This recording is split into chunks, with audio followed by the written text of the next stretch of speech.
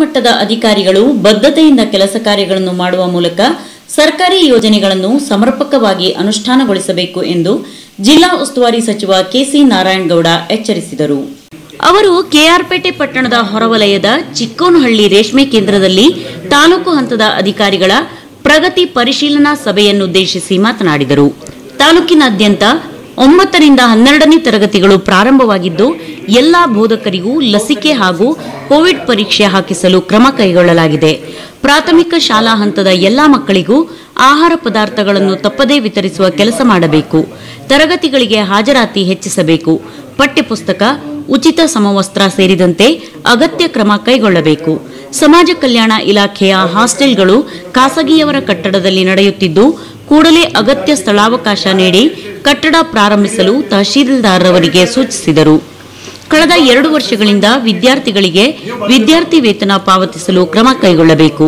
ತಾಲೂಕಿನ ಗ್ರಾಮೀಣ ಪ್ರದೇಶಗಳಲ್ಲಿ ಲಸಿಕಾ ಕಾರ್ಯಕ್ರಮ ಯಶಸ್ವಿಯಾಗಿದ್ದು, ನಗರ ಪ್ರದೇಶದಲ್ಲಿ ಕೇವಲ ನಲವತ್ತು ಶೇಕಡಾ ನೀಡಲಾಗಿದೆ.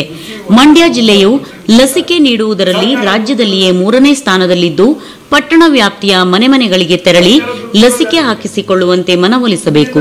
ತಾಲೂಕಿನ ಎಲ್ಲಾ ಗ್ರಾಮಗಳಿಗೂ ಕುಡಿಯುವ ನೀರಿನ ವ್ಯವಸ್ಥೆ ಕಲ್ಪಿಸಲು ಕ್ರಮ ಕೈಗೊಳ್ಳಲಾಗಿದ್ದು ಪ್ರತಿಯೊಬ್ಬ ವ್ಯಕ್ತಿಗೂ ಐವತ್ತೈದು ಲೀಟರ್ ಶುದ್ಧ ಕುಡಿಯುವ ನೀರನ್ನು ಒದಗಿಸುವ ಕೆಲಸವನ್ನು ಚುರುಕಾಗಿ ನಿರ್ವಹಿಸಬೇಕು.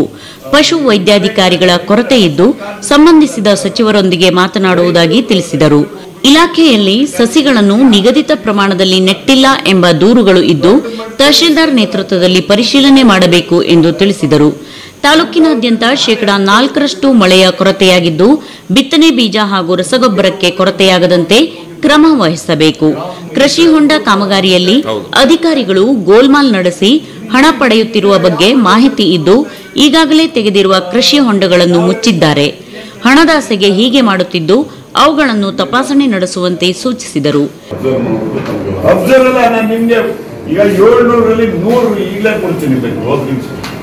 ಲೀಸ್ಟ್ ತಗೊಂಡು ಹೋಗಿ ಹೇಳೋ ಪ್ರಯತ್ನ ಎಲ್ಲ ತಂದು ಬಿಡ್ತಾರೆ ನಾವು ಪುನಃ ಪ್ರಪೋಸಲ್ ಸಬ್ಮಿಟ್ ಮಾಡ್ತೀವಿ ಸರ್. ಪ್ರಪೋಸಲ್ ಅದೇ ಲೂಟಿ ಇದು ನಮ್ಮ ತಾಯಿ ಲೂಟಿ ಆಗ್ತಾ ಇರೋದು ಸರ್ಕಾರಕ್ಕೆ? ಯಾರು sir.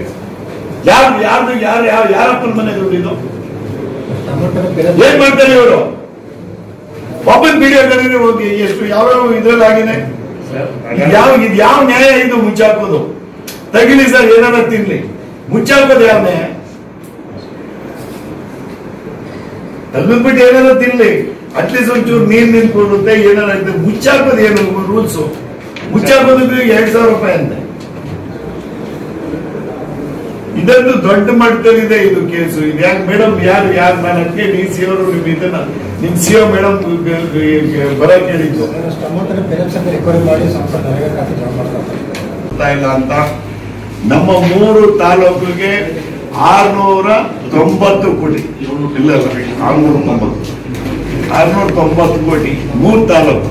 Pandupura K R Pete ಮತ್ತೆ ನಾಗಮಂಗ್ಲ ನೆಕ್ಸ್ಟ್ ನಾಲ್ಕು ತಾಲೂಕಿಗೆ ಒಂದು ಸಾವಿರದ ಎಂಬತ್ತು ಕೋಟಿ, ಎಂಬತ್ತೊಂದು ಕೋಟಿ ಆಗಿರೋದು ನಮ್ಮ ಜಿಲ್ಲೆಗೆ, ನಮ್ಮ ಸರ್ಕಾರ ಬಂದ ಮೇಲೆ thousand seven hundred crores more than thousand seven hundred crores ನಾನು ಕುಡಿಯೋ ನೀರಿಗೆ ತಂದಿರುವಂತದ್ದು ನಮ್ಮ ಸರ್ಕಾರ ಕೊಟ್ಟಿರುವಂತದ್ದು ಸೆಂಟ್ರಲ್ ಗೌರ್ಮೆಂಟ್ ಮತ್ತೆ ಸ್ಟೇಟ್ ಗೌರ್ಮೆಂಟ್ ಎರಡು ಸೇರಿ ಸರ್.